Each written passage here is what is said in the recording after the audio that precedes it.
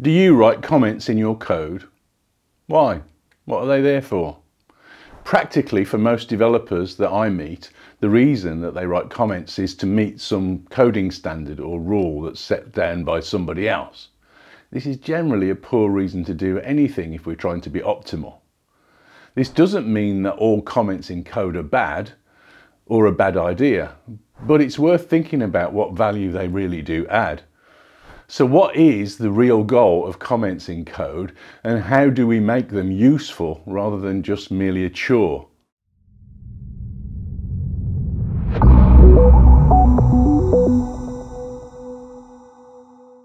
Hi, I'm Dave Farley of Continuous Delivery. Welcome to my channel. If you haven't been here before, please do hit subscribe and if you enjoy the content today, hit like as well. The right comment in the right place can be a big help. But in my experience, the vast majority of comments are a complete waste of time. As a result, my default stance on comments in my own code is to not write any at all. Don't worry, I'll explain that later.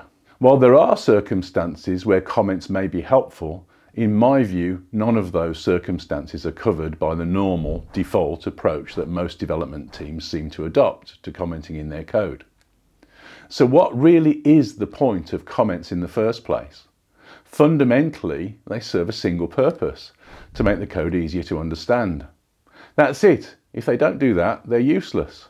If their goal is to do something else instead, perhaps like adding names to track who changed what, well, we have much more effective and better tools than comments for that kind of thing in the form of version control systems. So, to be useful, a comment must add to the clarity of the code or it's pointless and useless. The most common default approach to writing comments as far as I can see though doesn't really add to that clarity at all. And worse, it gives us an excuse for writing poorer quality code because we can write any old rubbish and then excuse ourselves by attempting to explain it away with comments. Claiming that our comments make the code more readable when they don't really. The most common default approach to comments are probably docstrings. The comments that we add to each function that are meant to describe what that function does. On the face of it, this may seem like a good idea, but is it really the best approach? I think that this is popular because it's easy to communicate, not because it's good.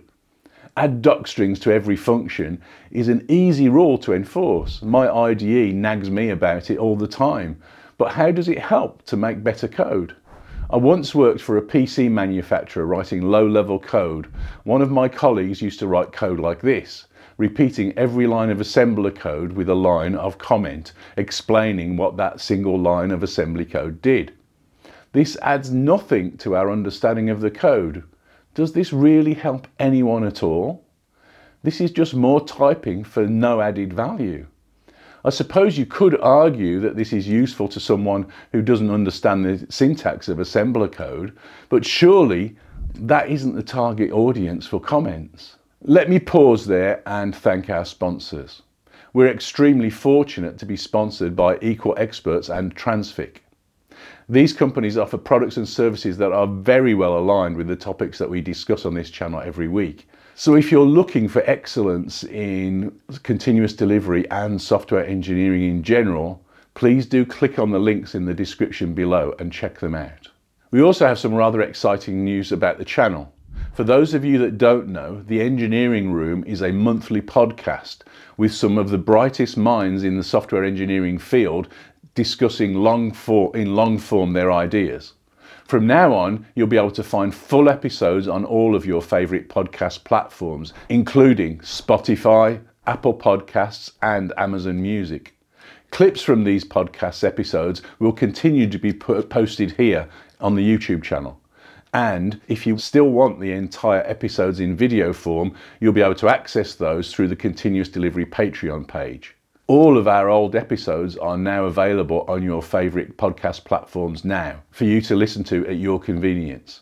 This Sunday, we're welcoming the chief architect from Spotify, Niklas Gustavsson, to the podcast. So be sure to check that out from 31st of March. Your incredible support helps us to bring these regular episodes, so please leave your positive reviews on your preferred podcast platform to help us to grow and to continue to bring you great guests and explore their insights. Thank you for listening. Now, back to comments in code. Comments are meant to be read by other programmers or maybe ourselves in the future. So we should always put ourselves in the place of that other person or our future self. What would that person like to know about this code? Let's start with the assumption that it's not our job to teach readers of the comments our coding language. Our job is to make the intent of our code clearer, not to teach computer programming. I'd argue that the main thrust of the code, whatever it is that it's meant to achieve, is best captured by the code itself and its tests, rather than in comments. If we're careful about how we name things, it's much easier to be clearer about what each part of the code is meant to do. If we also break the design of our code into small pieces, modules, we can now name them clearly and concisely, making our code inherently more readable without the need to add any extra comments. We explain our intentions with the code itself. I think that good code should be small, focused, modular, clear and concise. It should clearly state what each small piece does rather than rely on comments to tell us that. We'll help ourselves by the choices that we make in terms of design. For example, we may choose to use well-named abstractions to hide details of one piece of code from another. And if we adopt a strong separation of concerns, each part of the code is now focused on achieving a single task. That will also make it easier to name that piece well, and so helps us to write more readable code. Writing docstring style comments that merely repeats what the code already says simply makes us do more typing. And I'd say we also end up focusing less, not more, on what really matters, which is what the code is meant to achieve, rather than the uh, minutiae of how it does it. Okay, so it's certainly difficult to be expressive in languages like assembler. But all that means is that the comments are more important, not less. And this kind of mechanical approach to commenting doesn't really help at all. I'd say that the docstring is the modern equivalent of those useless translation style comments that my friend used to write. Good code is designed to be clear and obvious, so let's start by working to achieve that. Part of the problem here is that clear and obvious is quite a high bar to set. It's much more difficult to write clear and obvious code than it is to add a usually less than helpful docstring. So by mandating the use of docstrings, we give ourselves a get out of jail free card, an excuse to do a worse job of design in our code. It means that we don't need to work quite so hard on making our code clear and obvious. This is a terrible trade-off though, because we are now spending more time and effort writing redundant comments that are no use to anyone, and that's time that we may have used to do a better job of design. Here's a simple example of using comments as a crutch, an excuse for writing bad code. What does this function actually do? Without reading the implementation detail, you can't tell because I've picked poor names for things. I could add comments to this and that would certainly make it easier to understand a little bit. But how much better is this code uh, that I just name well? If I went ahead and changed the function when I'd only commented it and then forgot to change the comment, my comments would now be lying to me about what the code actually does.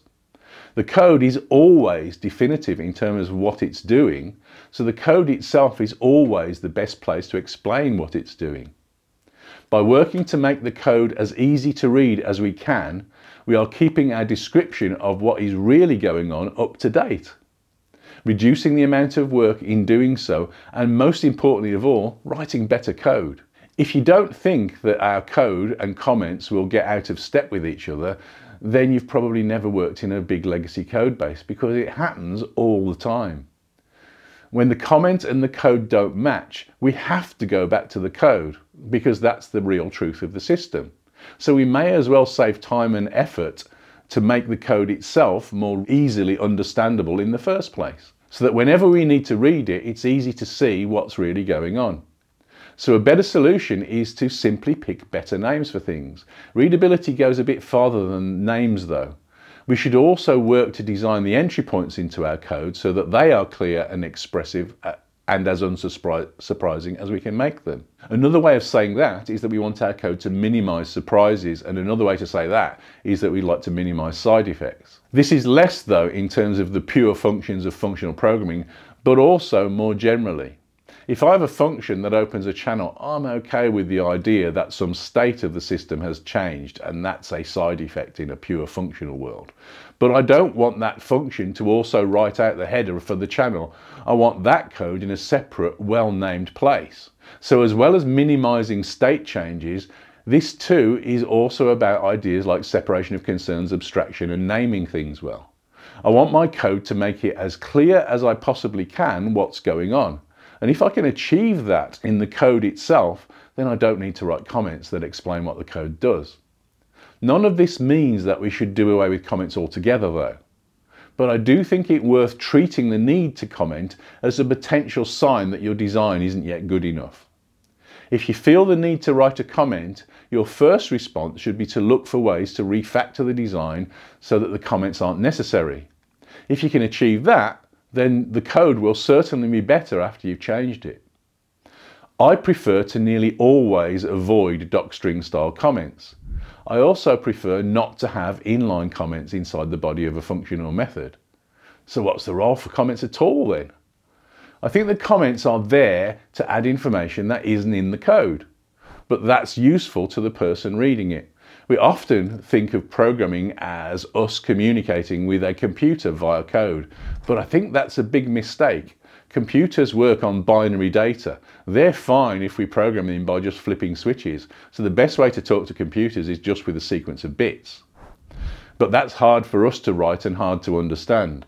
So when we write code, we're organizing our own thoughts and we are communicating with each other, other human beings. Sure, this is also in a way that the computer can understand, but software languages are human to human communication, not human to computer. So what sorts of things usually help us to do better understand code? Can we add information that the code doesn't contain? Well, yes. If there are several choices for a solution, for example, maybe mention them and explain why we picked the particular one that we went with. The code tells us what it does. The comments that are most useful tell us why we made those choices. This can be somewhat nuanced because it's also contextual. So while I don't want to end up teaching you how to program via the comments, it may nevertheless be helpful if I explain things that were not obvious from the code itself. So now I need to make a judgment, judgment call about what's obvious and what's not for the reader. If I choose some esoteric way to structure my design, I should first question myself about, about whether or not that's a good idea. Remember, simple, clear, readable code is good code. But if my more complex choices really are a good idea for some reason, then maybe now, finally, I have a sensible reason to write a comment, to explain my thinking. My goal with comments like these is not to explain what the code does, but to describe once again why I made this choice. The only other valid reason that I can think of for the presence of comments in the code is to document APIs. This is the case for docstring. I confess that I still feel a bit grumpy about the need to duplicate my work if I have well-named functions and parameters. How hard would it really be to automatically generate the outline of a docstring for a method like that? But in addition to saying what the method is called and listing the parameters and their types, the real value of a docstring at this point is to describe the use of the function in a broader context. A docstring seems like a good place to do this. It has the advantage of being next to the method signature, but the downsides take two forms. First, how do we decide which methods and functions are worth documenting? And second, are we thinking about the use of the API clearly enough at the point at which we are writing the docstring? Or are we just reacting mechanically and duplicating the description that's already better placed in the code? I guess that my aversion to docstring is, is based on the reality of their most common pattern of use. First, we don't need to a docstring for every function or method.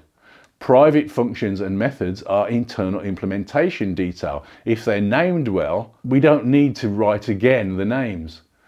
And they're, they're not part of the public contract that anyone else should care about. So they don't need um, any additional documentation, in my opinion, and don't benefit from being documented in the same way as public APIs.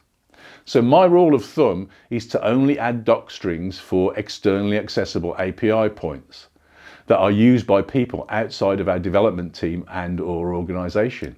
Now the real value of these things is not the param lists and repetition of the function names, it's in describing how to use this code. For that, my real answer is to provide a working example, a test that clearly demonstrates how to use the API.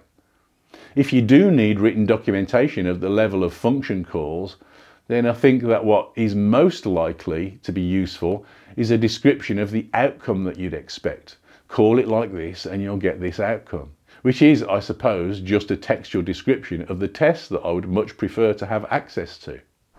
What I don't want is someone's life story in description and descriptions of how clever and complicated the solution was that they came up with or comments that say things like this is a loop and now calling this function.